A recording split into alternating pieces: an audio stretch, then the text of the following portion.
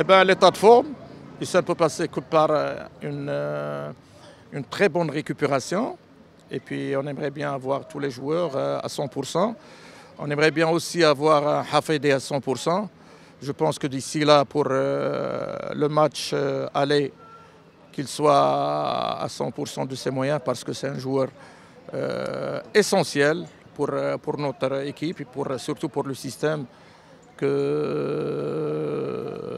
copte, enfin, que, choisit le coach. Et puis même les joueurs, ils sont, conscients que Hafedé est l'un des éléments clés de cette équipe.